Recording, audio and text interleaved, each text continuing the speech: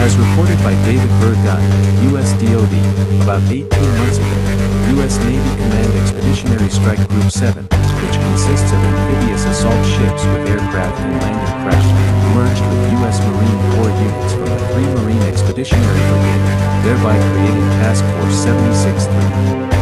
The goal was better interoperability, particularly if the sailors and Marines worked as a team every day instead of just coming together for an exercise and then going our separate ways, said U.S. Navy Rear Admiral Christopher Stone, commander of Task Force 76 He added that it's a first and is still being evaluated.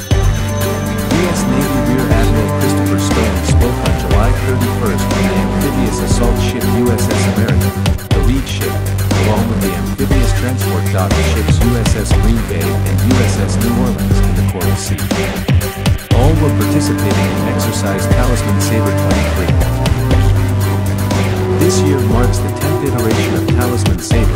Biennial exercise designed to advance a free and open Indo-Pacific by strengthening partnerships and interoperability among key allies.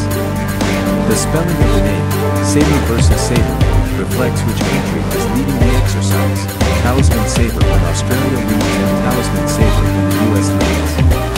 Over 30,000 personnel in 13 nations from Japan to Germany are participating in this year's full exercise.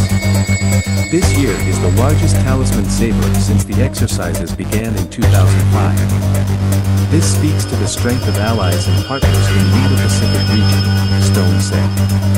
A detachment of German naval infantry from the German Coastal Operations Sea Battalion is operating at the USS America Amphibious Strike Group, along with Japanese Maritime Self-Defense Force, which have their own amphibious vessels with capabilities similar to the USS America.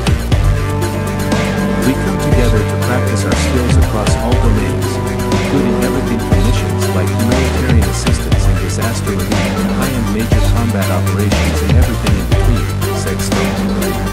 It's an opportunity for us